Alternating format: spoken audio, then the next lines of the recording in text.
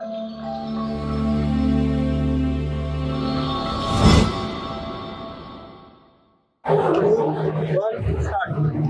सभी को सादर नमस्कार। विश्व पुस्तक मेला 2024 में आप सभी का स्वागत है। 2016 से दिशा प्रकाशन में मधुदीप जी ने नुक्कड़ लघु कथा की शुरुआत की थी, जिसे अब वनिका पब्लिकेशन आगे बढ़ा रहे तो आज हम शुरुआत करते हैं नुक्कड़ लघु कथा की। रेणुका जी के बाद मैं आमंत्रित करना चाहूँगी विष्णु सक्सेना जी को कि वह आए और अपनी लघु कथा का वाचन करें। विष्णु जी।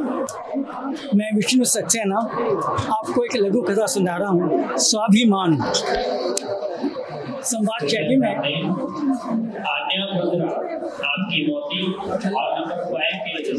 संवाद शैली में स्वाभिमान। ताऊ आपके लिए दिवाली उपहार लाया हूँ। आशीर्वाद बेटा, क्या लाया? एप्पल वॉच है, आधुनिकता की पहचान। अच्छा पर इसमें कुछ दिखाई तो देता नहीं। ताऊ, बस साथ लगा बटन दबाओ, समय चमकने लगेगा। बढ़िया है। एक फ़ायदा और, ये आपके एप्पल फ़ोन से भी जुड़ जाएगी। कैसे? यह मैं आपको कनेक्ट करके दूँगा। ठीक है, आप कार चला रहे हो, अचानक किसी का फ़ोन आ जाए तो आप मोबाइल से बिना कान से लगाए बात कर सकते हो। तब शहर में पुलिस के चालान का डर भी नहीं रहता। बहुत बढ़िया। पर यह वॉच बहुत महँगी होगी। ताऊ, आपको इससे क्या लेना? यह तो आपको मेरी तरफ़ से उपहार है। फिर भी बात ऐसी है ताऊ। बात ऐसी है ताऊ, ये सीरीज़ तीन का बहुत बढ़िया मॉडल है, पर अब बाज़ार में मॉडल छह आ गया है, और मेरे सब दोस्तों ने खरीदा।